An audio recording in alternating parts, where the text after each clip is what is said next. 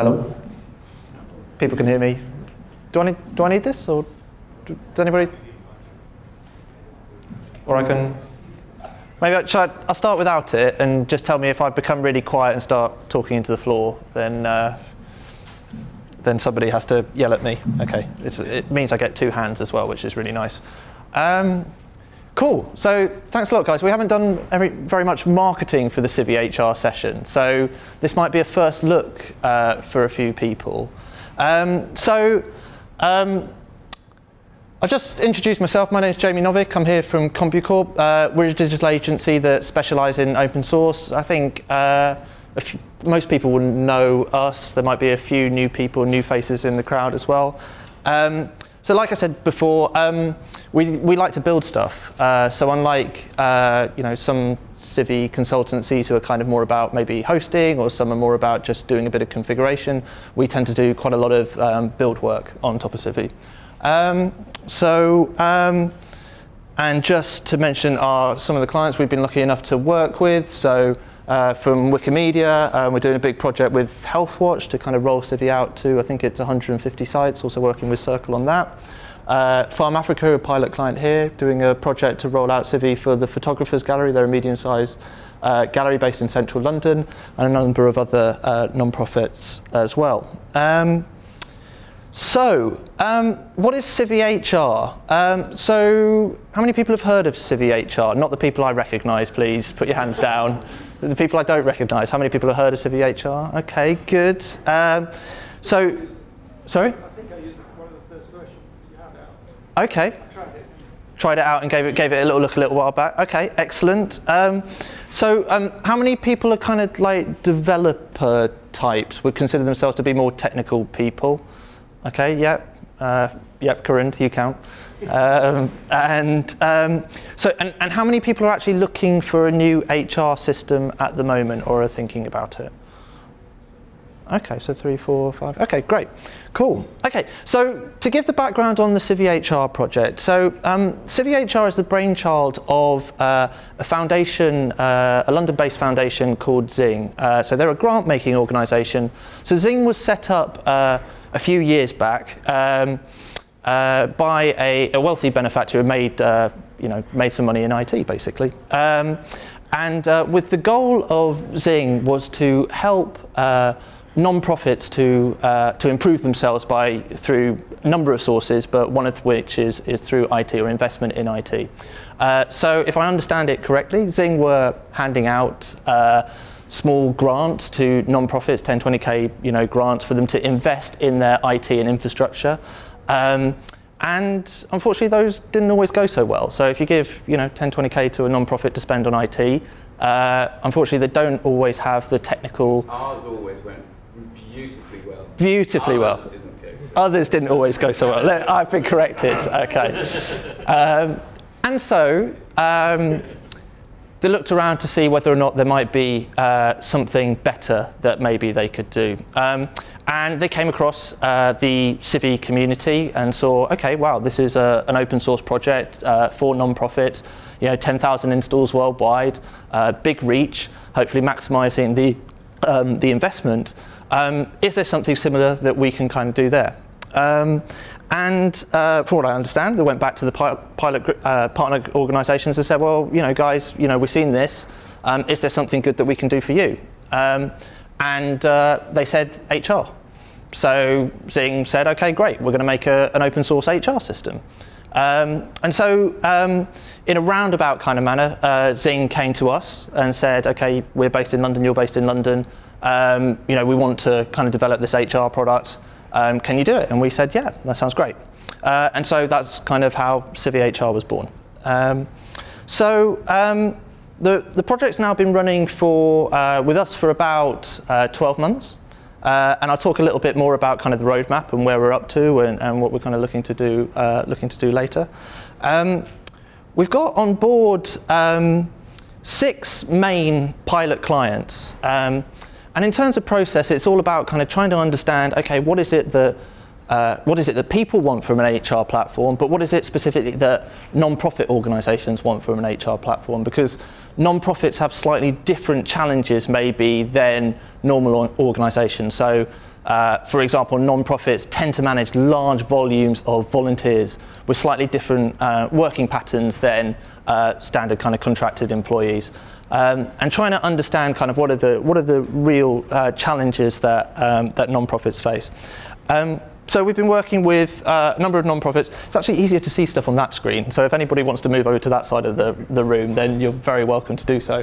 Uh, so I'm going to point at that screen. Um, so we've got um, Farm Africa, um, 400 staff across six countries, uh, $50 million, everything's in dollars. Sorry, I should have changed this from the Civicon US um, presentation. $50 million worth of income. Um, so particular challenges in Farm Africa is the fact that they're a multinational organisation reporting to the board. Things are constantly changing at a local level. How do we stay on top of all of that? Uh, UK youth, um, 80 staff in the UK, uh, high numbers of uh, voluntary staff and part-time staff as well. Um, $8 million income, uh, and again, a distributed team across the UK. How does the HR team stay on top of that?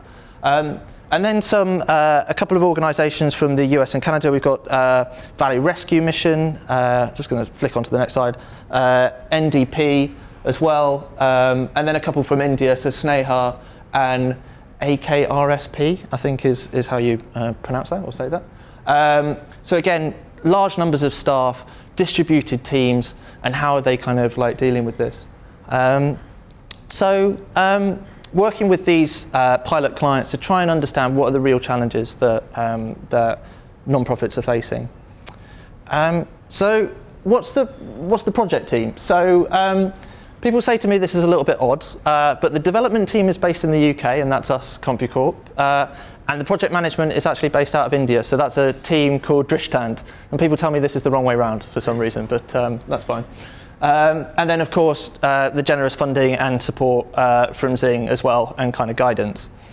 Um, and a bit about the project. So um, we're quite lucky in this project, uh, which is that because we've got kind of a, a longer term horizon um, and we're also working uh, not with specific fixed goals in mind, but with the aim of producing the best product possible we're able to approach this in a what we would term a pure agile kind of development process. So this is to say that rather than upfront do we sort of say, okay, well here's a big list of all the requirements, these are all the things that we're going to build. What we're trying to do is to break that down into smaller chunks and to do things in an iterative fashion, releasing things, getting feedback from the pilot groups, learning from our mistakes, iterating that and then feeding that back into, into the solution. Um, so what is Agile? Well, Agile is firstly a buzzword, so everybody talks about Agile, and there are lots of books written about Agile, and I wouldn't purport that we do a pure Agile process as per the textbooks, um, and nor do I think it applies in all circumstances. Um, but what we've tried to do is take the good concepts from it. Um, so one of the things is about being user-centric, and that is to rather than to, to write requirements in a big list of, hey, it needs to do this, it needs to do that, what we're trying to do is understand what the users are trying to achieve. So as a user, I want to be able to do this because of that. And getting all of that documented, and that then feeds back into the way that we're then wireframing the product and then designing it. Um, so, and also the fact that you know all, all projects have limited resources at the end of the day.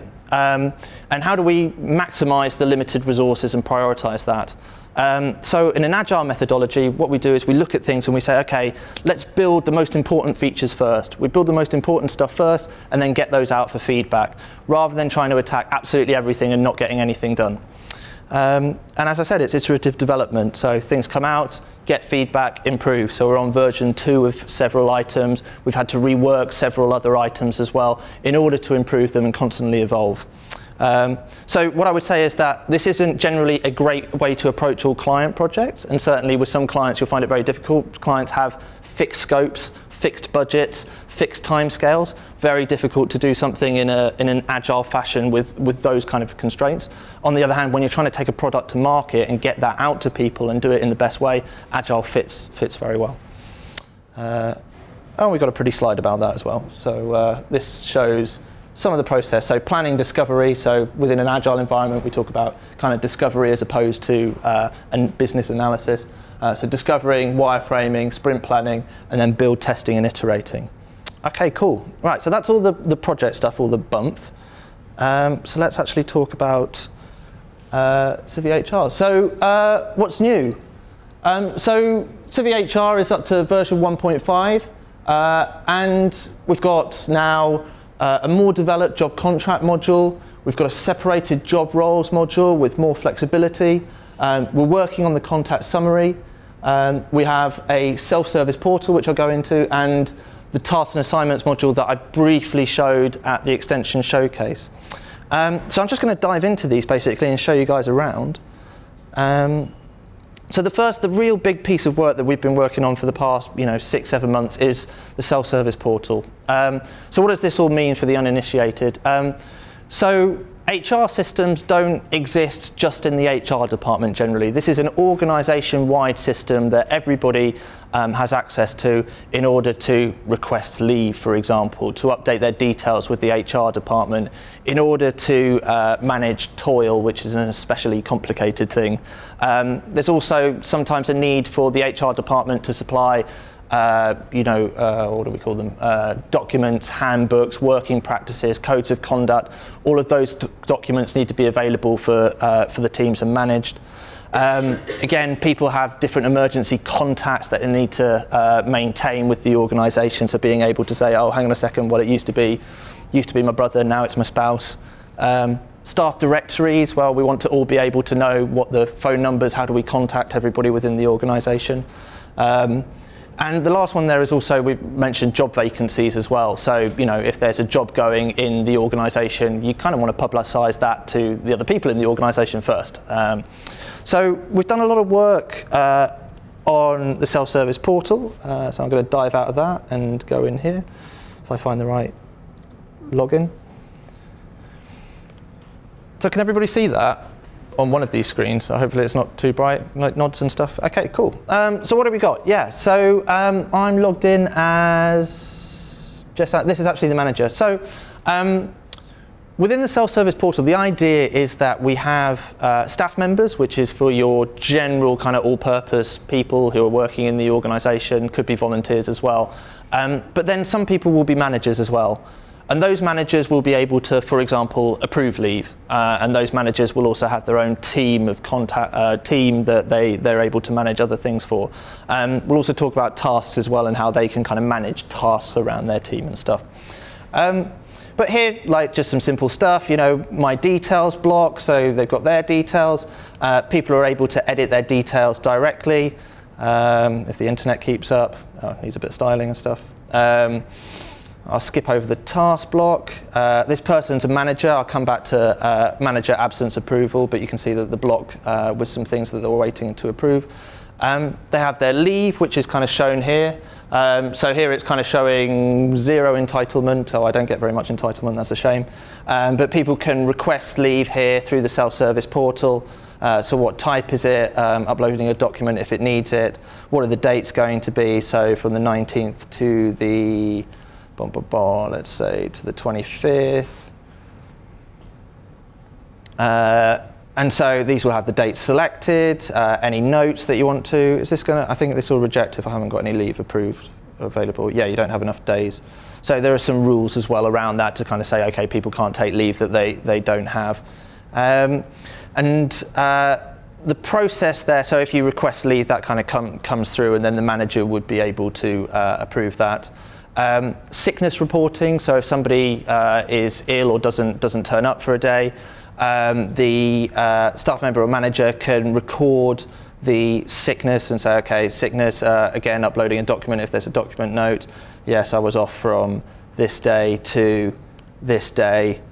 Fine, some more reasons. Sorry, I was ill.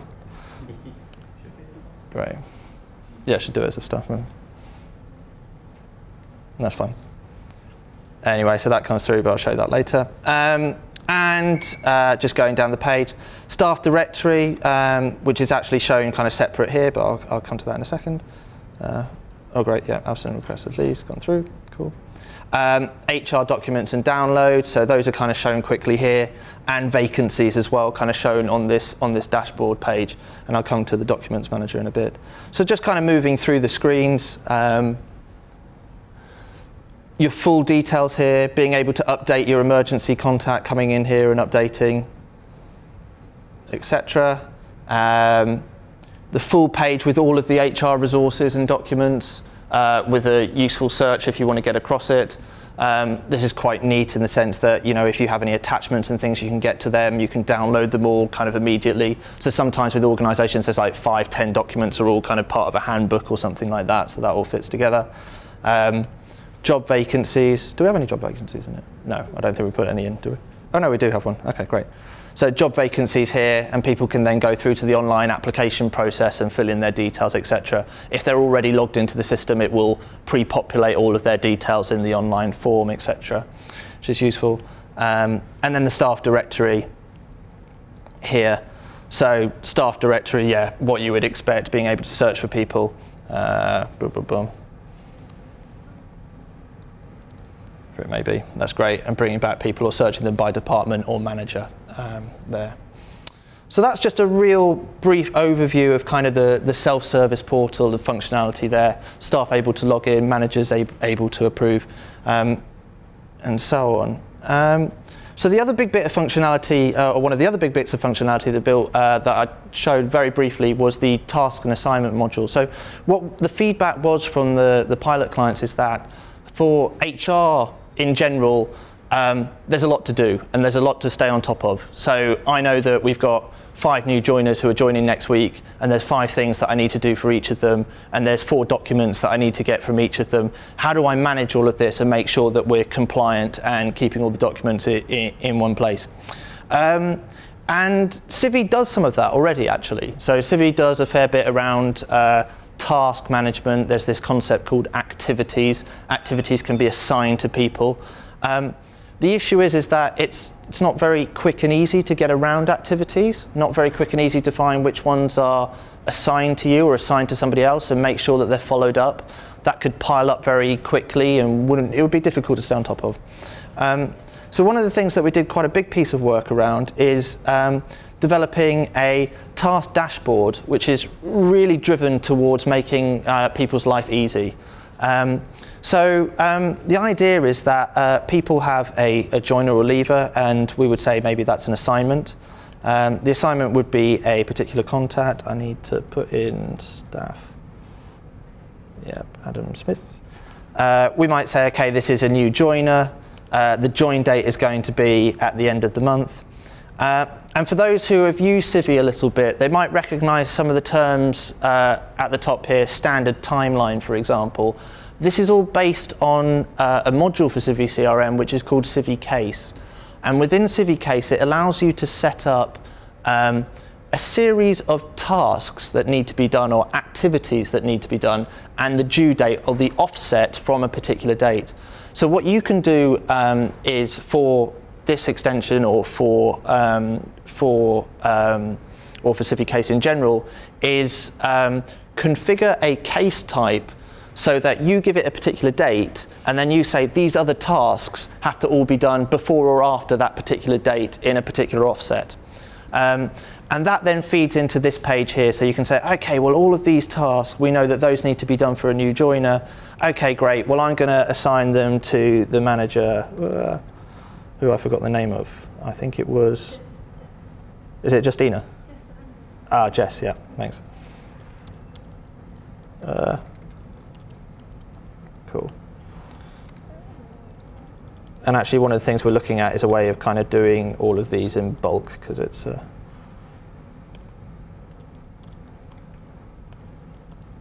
So you may, of course, want some of them to go off to the employee as well. Uh, hey, Jess, you can have a load of stuff to do. Oh, and say. I was going to say you can also add an extra task or add a document to it as well if my phone keeps up. Great. So here what I've done is I, have uh, I've created these extra tasks, but I've assigned them to someone else. And I want to make sure that they actually happen, uh, but obviously I'm not going to be the person doing them. Um, so it's quite easy to be able to see your delegated tasks. So actually I've got none for me, uh, but I've delegated all of these tasks to, there's some to Delina, uh, some to Jess here, or quite a few to Jess, and we can go through here. Um, and you're able to filter very quickly to see, oh, okay, well, I've got an overdue one here, which is Delana. Okay, yeah, great. Um, so I'm going to send a reminder to Delana to say to her, hey, why isn't this done yet? And fire that out to her. It might be that actually Delana's left and I need to change this and say actually Jess needs to pick this up now. And then we'll do that. And that'll again fire out a note to Jess to say, hey, this has been assigned to you and you need to get on with that. Um, there's also, it's, it's, a bit difficult to show because it's uh, kind of sends out once a day, um, but a task digest email that goes out to people, which nobody can see on that screen, but you can see very nicely on that screen. Um, so if everybody would like to point their eyes over to there, um, then, uh, and this gives you a list of, you know, kind of, okay, you've got three tasks, two are due, what's overdue, tasks and documents, etc., what's coming up this week, uh, and then any key dates as well. Um, so just on that point, uh, oh, there's also some useful filters. So if you want to kind of filter it to a particular contact or an assignment, just the people who are joining, then you can kind of filter that down.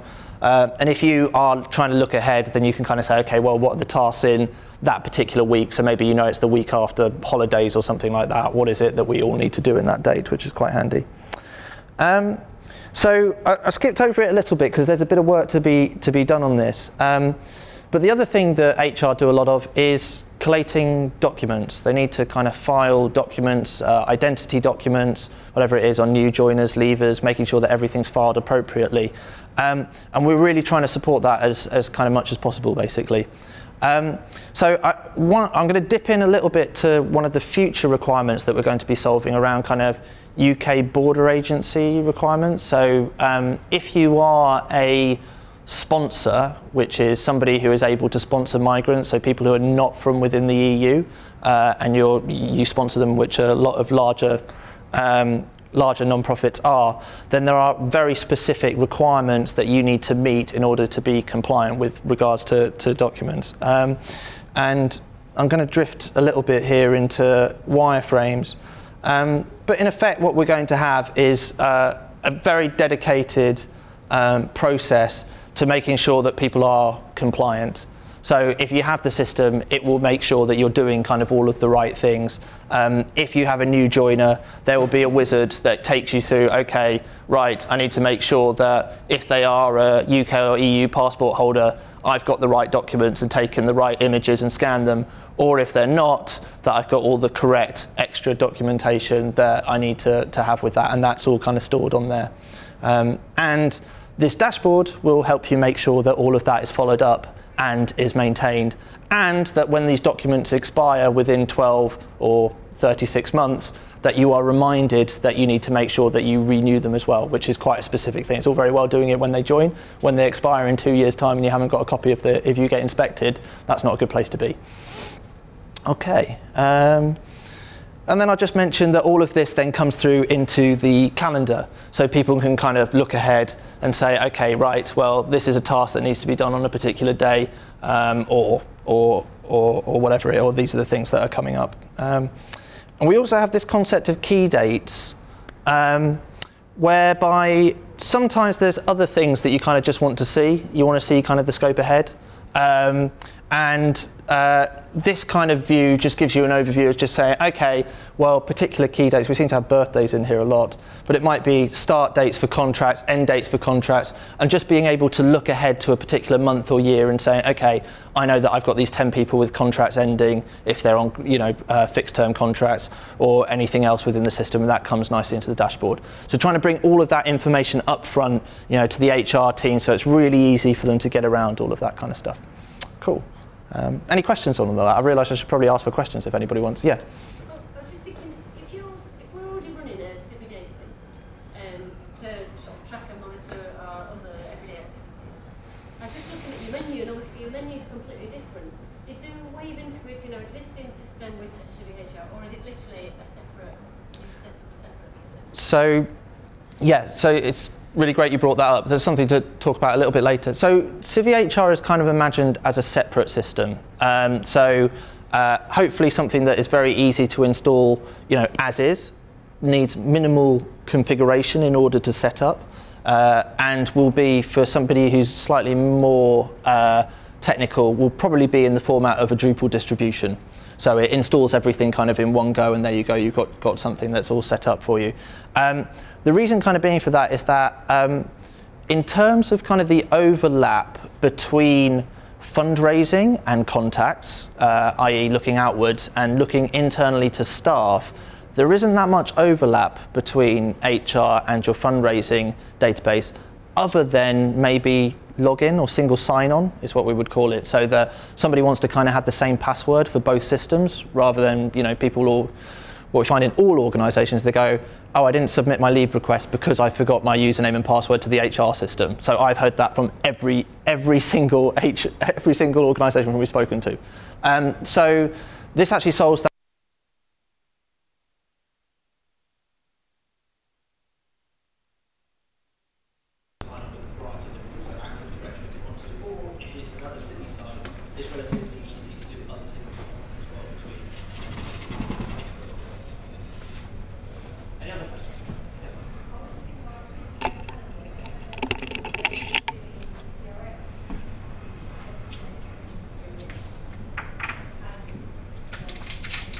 Um, so this one, so the whole task assignments extension that we created for Civi HR works with Civi Core.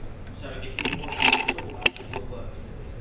Uh, however, it won't show you events unless you did a little bit of work to it. There are other ways of solving that. So I'll, we can have a chat about that later. Um, cool. It's Um, really coming back to the first question and how it links into the current Civi. Mm. We use it when we Civi, but we don't use it for fundraising. Okay, yeah. So we don't use the fundraising at all in there.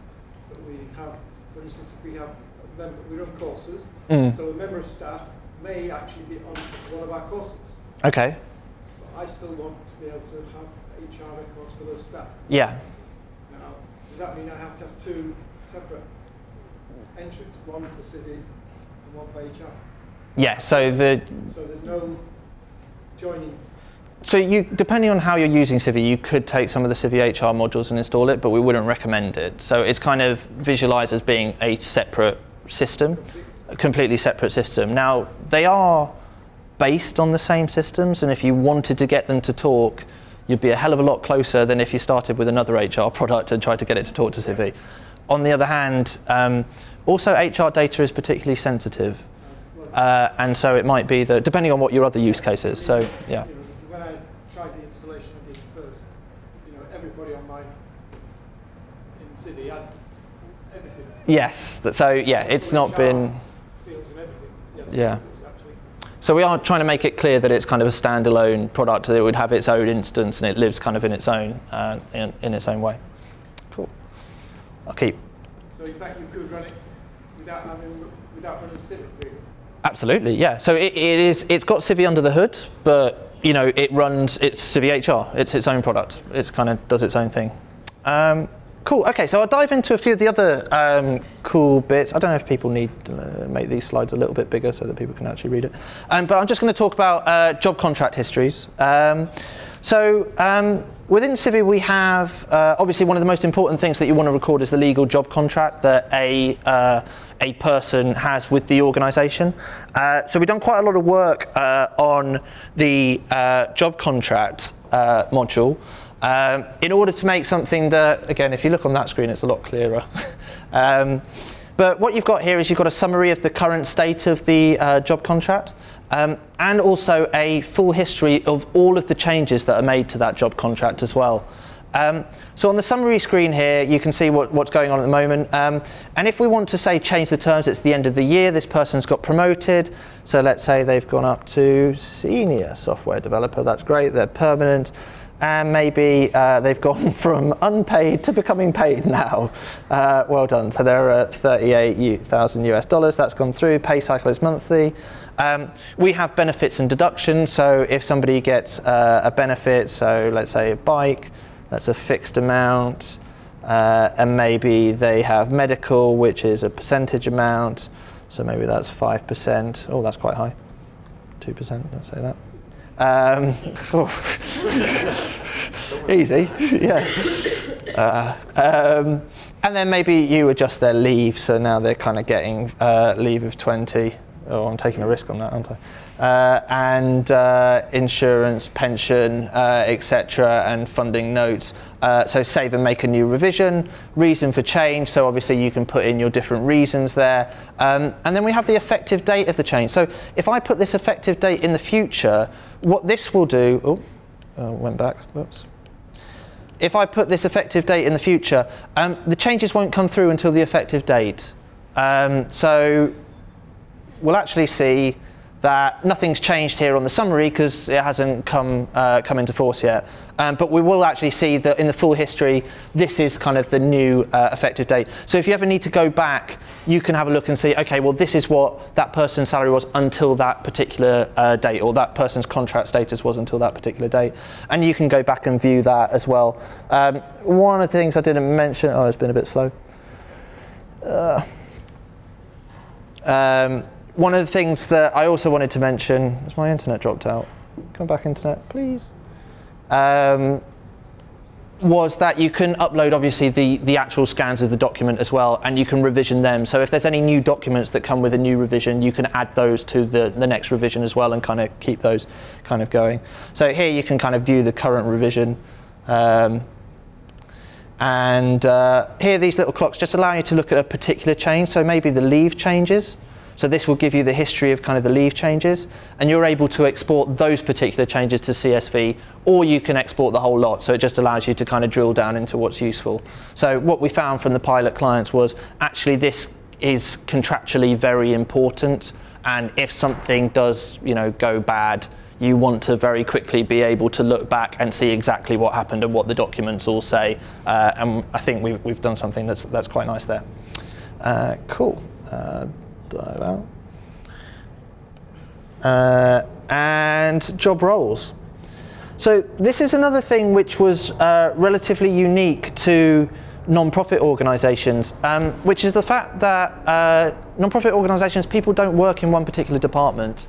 Uh, very often somebody works in two particular roles within the organisation. So sometimes, or three days a week, I work, you know, on the activity centre, and two days a week I work in main office on this particular thing. And it can be difficult to kind of manage all of that information.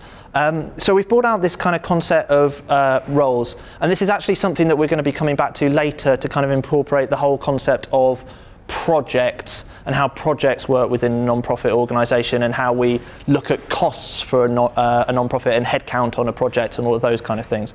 But this is kind of the, the, first iteration of that. And it allows you basically to say, okay, well, this person has a particular role, you know, which contract is that role attached to, the level, you know, some basic information, region, location, department, which then all gets drawn into the reporting so we can look at headcounts by department, all of that kind of stuff. Um, but also then any funding uh, that is, or the funding for that role. So sometimes somebody's come along and is funding a particular uh, role uh, within the organisation. A particular funder has provided a certain amount for this, and you're able to record that here and see that here. And again, cost centres, so you're able to record, uh, you know, somebody had more than one cost centre, what does that go against? So CT01 maybe, percentage fixed amount, 100%, uh, let's say that, save that all kind of goes in there as well. Um, so we've done, you know, the starts of that, being able to record all that information, being able to report on it, and in the later versions, we're going to be looking at how we can expand that to kind of really looking at a project and saying, okay, well, the organisation is doing this project. How many people are allocated to that project? How many people are, you know, what are the cost centres for that project? What are the costs involved in it? And what the leave was used on that project, etc. Bringing all of that stuff together. So yeah. Um, crack on through. Contact summary. Um, so this was just a specific uh, piece of work that we wanted to do in order to kind of bring the information together uh, for a contact. Uh, I realise that I haven't actually brought up the slide for that.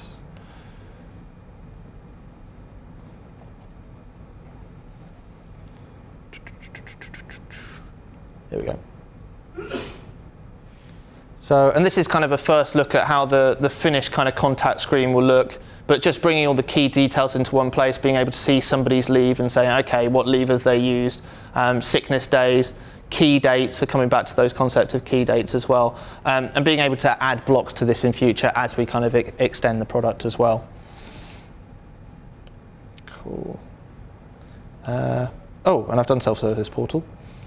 Okay, So that's kind of the latest for version 1.5. Um, so then I'll just want to briefly talk about um, version 1.6, which is the work that's just starting at the moment and we're looking to kind of finish up um, before the end of the year. Um, so the first point, uh, responsive or mobile friendly SSP, so the self-service portal. Um, so we've just spent a lot of time, uh, if I get the right screen, uh, making all of this as mobile friendly as possible. So if the page comes up, don't die on me now, internet. Had all the pages ready.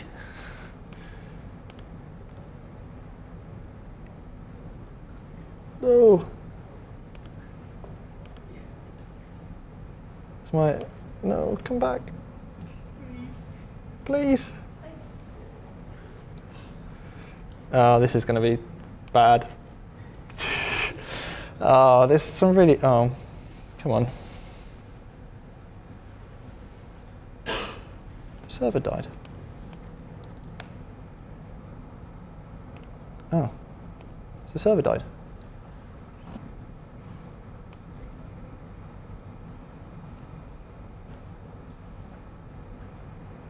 Anyway, I might come back to that. Can you see if you can get the server back up? Yeah, okay. Um, so we did some work on kind of getting the, as you can see, the, the self-service uh, screen all responsive. Um, so actually what's really cool there is that staff can request their leave on their phone or... Oh, it works for you, just, just hates me. it's fine. We'll, we'll, hold up your phone and everybody will see it. It'll be fine. Yeah, yeah, people can, people can check it out, it'll be fine. Yeah. Believe us, it works, it's fine. sure. Uh, and looks really nice as well. Maybe, yeah.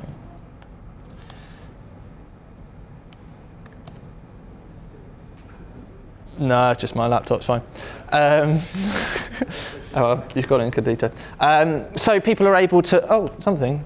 Yeah, yeah, yeah, there we go, cool. Um, so this is all kind of uh, nice and responsive here so that um, you know, if, if somebody's working on their on their uh, on their phone, they can request leave on their phone. Managers can approve leave on their phone, uh, report sickness on their phone, uh, and all of those kind of things. Um, even down to the manager calendars, if this comes up. So these are all really nice and responsive as well. So you can swift acro uh, shift across and kind of see, okay, well, don't know why Adam Smith's on there twice. I think we've got two of him, but. Um, you know, oh, hang on a second, Adam's going to be or was sick for two days there, and he's going to be off on vacation on the 14th. Well, actually, I'm not going to approve that. So you can do all of that kind of through the through the mobile, which is which is really cool. Um, and also kind of seeing your own leave calendar is on there as well. So kind of saying, oh yeah, you're going to be off for those three days, uh, etc. And seeing kind of all of your things that have been approved and not been approved and requested. So all of that comes through, and also the staff directory, etc. Um, so we've done quite a lot of work around that to make it uh, mobile friendly. Um, and I think you've seen uh, a few of the screens there, but we're doing quite a lot of work around kind of the user interface as well. So, uh, you know, we're hoping to finalize kind of the, the look and feel uh, and consolidate that across the whole of uh, Civi HR um, over the coming months, uh, getting everything to kind of look like this and give everything a, a refresh, uh, and hopefully contributing that back to core um, uh, in the new year at some point as well. Um, dashboards and reports. So we're busy kind of working on this at the moment. So it's, it's all very well putting all this data into your HR system, but what you really want is to be able to get some useful analysis out of that. Um, so we're just kind of starting to put together a, a, a kind of reporting framework um, and uh, starting kind of with people and then looking at other uh, metrics. Um, so of course with this, because it's based on Civi, you can export all your data out. So that's kind of like a given. If you want to get things into a CSV and do some play with it in Excel, that all works. You can do that at any point. Um, what we've been trying to do with the uh, with our reports is to give something that's going to be a bit more meaningful and a bit more visual. Um, so we're kind of looking at uh, comparisons and how you can kind of look at your data uh, visually and dashboarding and so on. Um, so um, the start of this, so this is just a, a, live example, but I'll show you some of the other uh, designs. But um, for example, looking at headcount, looking at headcount across departments, being able to compare all of that and see oh, okay, finance have got three people, marketing got two people. You probably knew this already if you had this amount of people, to be fair. Um, and then being able to click on those uh, and saying, uh, okay, who are those particular people, etc., uh, and drilling down, you'll then be able to export that data out and get at it. So you're having a bit more of a visual, interactive kind of um, uh, dashboarding. Again, we've got some stuff for uh, genders at the moment, so seeing the kind of gender split across the organisation. Um, and being able to, to look at that. Am I right? The settings is it settings for gender or age? Is it? Yeah, age is the one. Yeah. Um, and then again, so ages, so seeing what the breakdown of ages is. Um, and then there's some settings here actually to kind of play with all of the graphs, etc., and move things around, add uh, things. So two technical points to make about this. Um, the first one is that this is all based on Drupal views. So for people who, or some organizations already have Drupal capability in the organization, you can, without being a developer, create new views and add these to these, uh, these dashboards. So you can create extra graphs kind of all based on Drupal views if you have kind of those, those technical capabilities in the organization. Um, and actually you don't have to write any code to do that kind of stuff. Um, and the second point was that around permissioning for this. So what we wanted to do was, um, you know, and this came out of a conversation with, say, Farm Africa and a couple of the other larger nonprofits, which is a significant amount of the HR team's time is spent producing reports for management or senior management in order to say, hey guys, this is where we're at and they have to do a whole load of work in terms of getting all the documentation in, right, what's the average age of these people, what were the start dates, blah, blah, blah, getting all of that in together in order to then send that off to management. And the idea here was to create this dashboard that has its own kind of permission system around it that we can then provide to management so they can log in and look at the data themselves. So they're able to log in whenever they want to and get this up at the board meeting and say, right, what's the current position, what's the history, and all of those kind of things. Um, so if I dive into kind of some of the other reporting, because this is quite important, I don't think it's on this one. Hold on. So we'll be looking at things from absence reporting, uh, and obviously kind of time, you know, so what was it between these particular dates, uh, you know, days taken, number of employees, absence duration of um, sick leave across uh, departments, etc. Um, and then also looking at uh, appraisals, so I'll come to appraisal soon as well, so reporting around uh, performance management, etc. Um, and also training when we come to that as well. Uh, and assignments, so how many new joiners, what's the attrition rates, uh, of employment, and again trying to look at this all visually across like departments, levels, contract type, project type, but actually any other field that you have kind of on the contract with. Uh, so, cool. Um, internationalisation and teams. Um, so, for an organisation like uh, Farm Africa, um, they've got uh, six different divisions basically, or six divisions in separate countries, um, and all need to have access to their own uh, kind of data basically that needs to be separate for everyone. So, Civi already has kind of the capability to do this in something called ACL groups.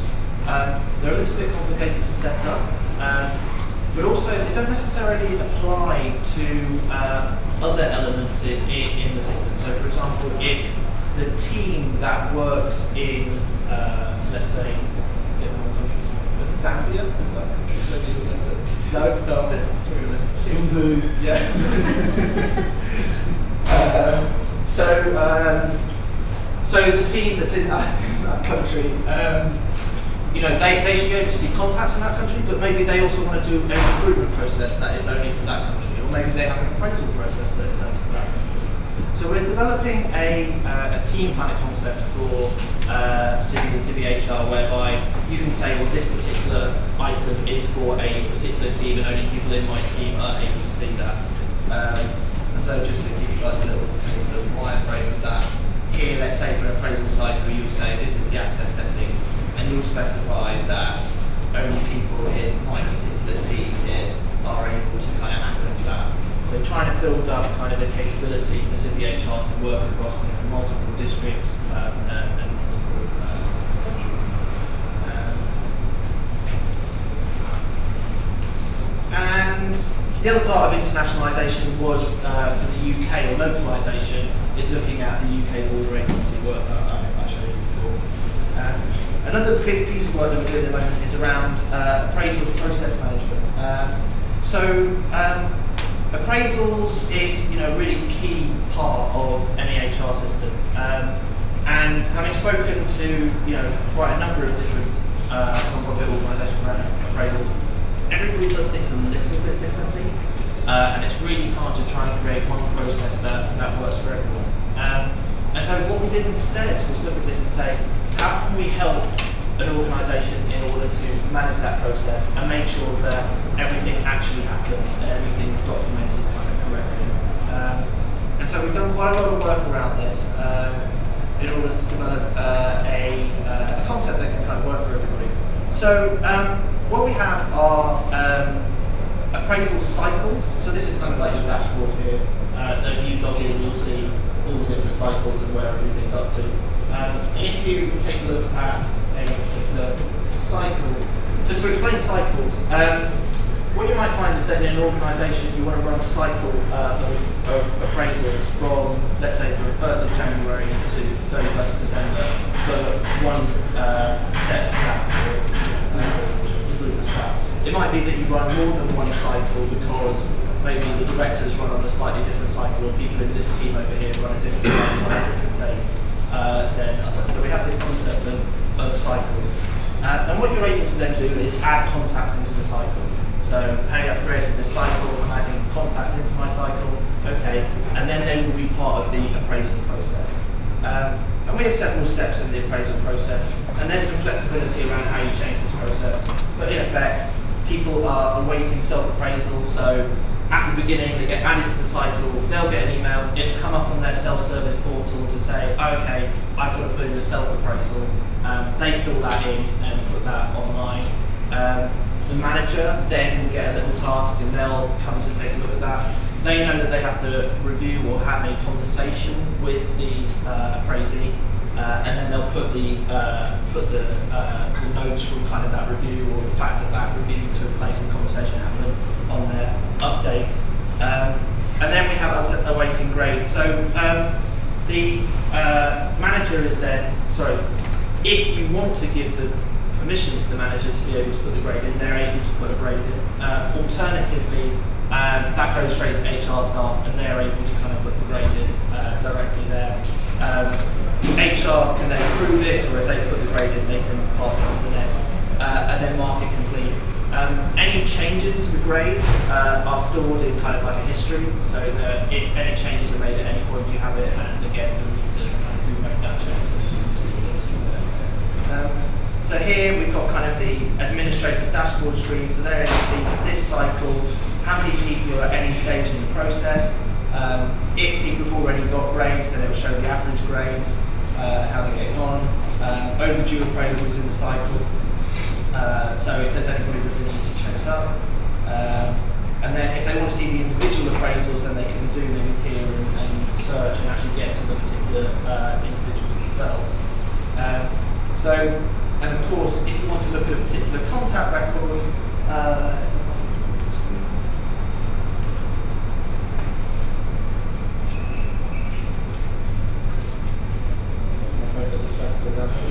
So for Amy here, we've got their appraisal history. I think this won't be for um, and the average grade that they've had, uh, and then their history of all the appraisals that have kind of gone through and where they're up to, so, so you can kind of take a, take a look at that uh, and view kind of the grade and the grade history there if you if you want to as well. Uh, so all those details are there. Um, and as I said, all of this will come through onto the self-service portal. So when they log in,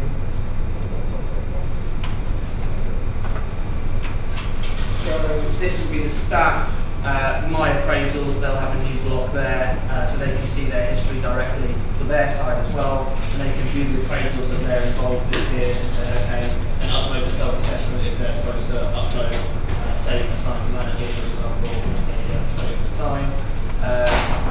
Uh, and then from the manager's point of view, um, they're able to see all of the people that they manage, uh, kind of status of the appraisal. So view appraisals, are okay, what, let's view the self-appraisal or upload the actual appraisal that the manager will do and confirm any notes and the fact that the meeting take, took place and when it took place. So well. Uh, and any questions on that? 'Cause that's quite a big. Uh, and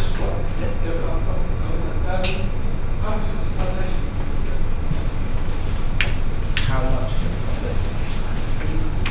Pretty soon, I noticed on earlier on that the uh, passport and education thing, this we would also get checked.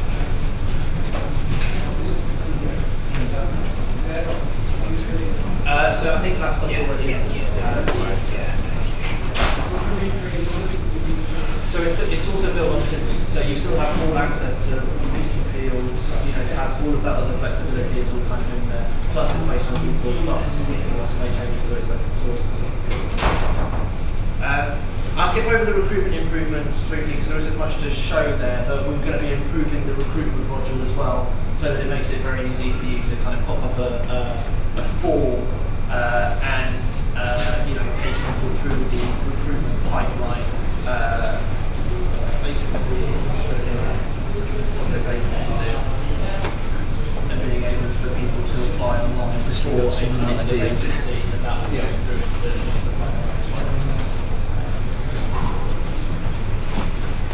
Um, so, that's version 1.6, and then in the longer term horizon, what are we looking at? So this will be in the new year, in version 1.7, we'll be looking at uh, training, so support for uh, training individuals in training, uh, you know, so that as part of, say, uh, the appraisal process, people are going to do some training, those will be the goals, uh, how they've and they can uh, register for training events and so on.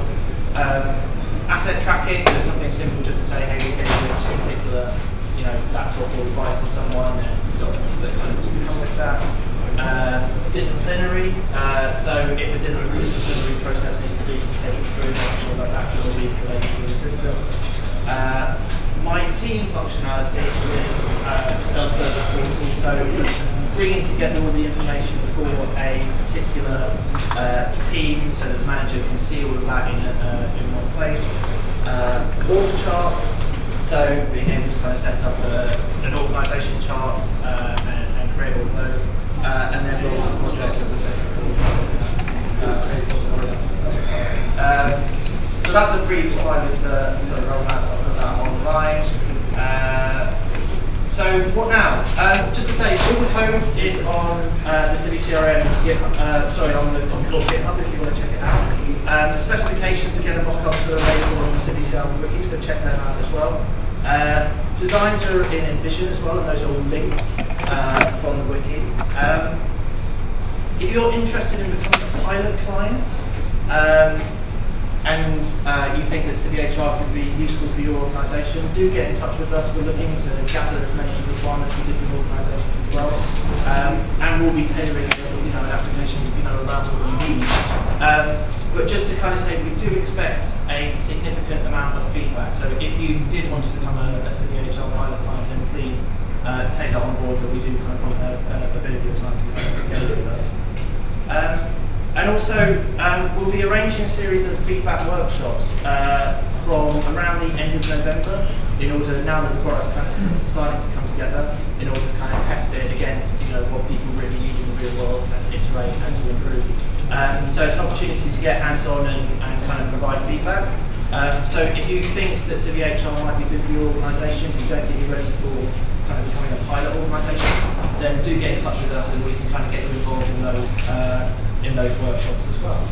And those. Any other questions? Okay, you're good to go.